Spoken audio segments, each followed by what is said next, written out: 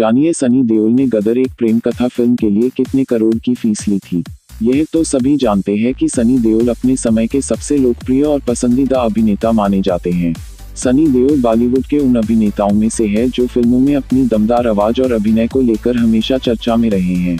यही वजह है कि दर्शक आज भी सनी देओल की फ़िल्मों को बेहद पसंद करते हैं। उन्होंने अपने 46 साल के फिल्मी करियर में कई महान फ़िल्में दी हैं।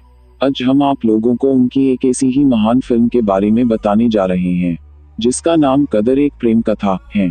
अनिल शर्मा के निर्देशनी में बनी इस फ़िल्म में सनी देओल के साथ अमीशा पटेल और अमरीश पुरी भी मुख्य किरदार थे। शानदार कहानी, ज़बरदस्त अभिनय और दमदार एक्शन से भरपूर इस फ़िल्म को दर्शकों ने बेहद पसंद किया था। इस फ़िल्म की कहानी भारत और पाकिस्तान के बंटवारे के दौरान निर्मित हुई एक प्रेम कहानी पर आधारित है। यह फ़िल्म इस साल की सबसे बड़ी ब्लॉकबस्टर फ़िल्म मानी जाती है।